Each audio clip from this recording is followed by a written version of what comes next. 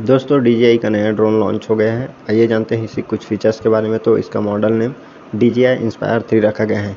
इस ड्रोन को खास तौर पर सिनेमा प्रोडक्शन में इस्तेमाल करने के लिए लॉन्च किया गया है।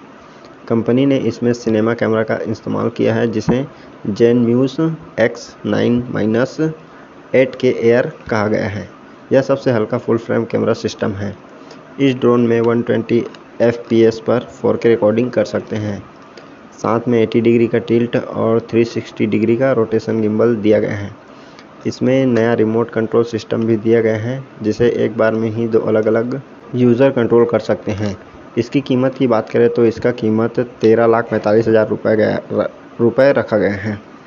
और इसकी लाइसेंस की कीमत की बात करें तो अस्सी हज़ार रुपये इसकी लाइसेंस की कीमत रखा गया है। इसकी सेल जून के अंत तक शुरू होने की बात कही गई है। कंपनी ने इसे कमर्शियली ड्रोन के तौर पर लॉन्च किया गया है। यह ड्रोन फुल चार्ज में 28 मिनट उड़ सकता है। इसको रिमोट में 7 इंच का स्क्रीन दिया गया है, जो कि 1200 नीट्स का डिस्प्ले है। दोस्तों, मेरे को इसके बारे में बस इतनी ही जानकारी थी।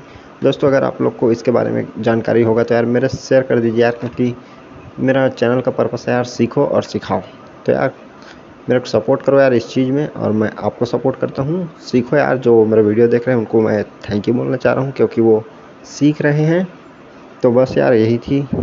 तो बस दोस्तों, आज की इस वीडियो के लिए बस इतना ही। मुझे उम्मीद आपको वीडियो पसंद आया। अगर पसंद आया तो यार लाइक मारो यार।